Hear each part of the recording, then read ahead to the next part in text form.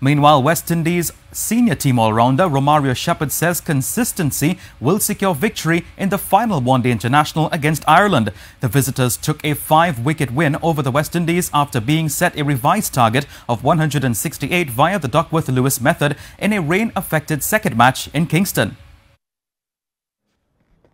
Romario Shepherd's maiden 50 and a blistering 19 ball 46 from Odean Smith helped patch up the Windies' top order and middle order collapse.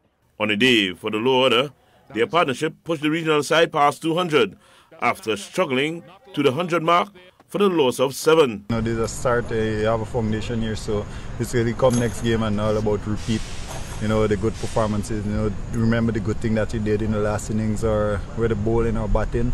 So basically, for us to be consistent at this level, we have to, you know, work hard also.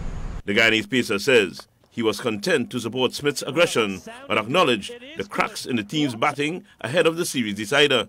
Shown in both games, you know, we did not bat well as we wanted to.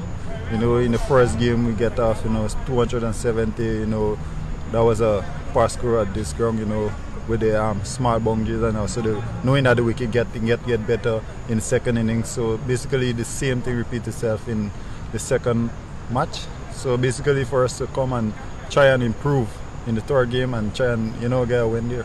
The third and final ODI bowls off on Sunday in Kingston.